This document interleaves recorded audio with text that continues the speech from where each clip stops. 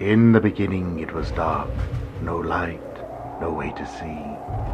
The holiness of God and the evil of the devil, the two in a constant battle. The way things have gone from the creation of man, you'd think the devil had won.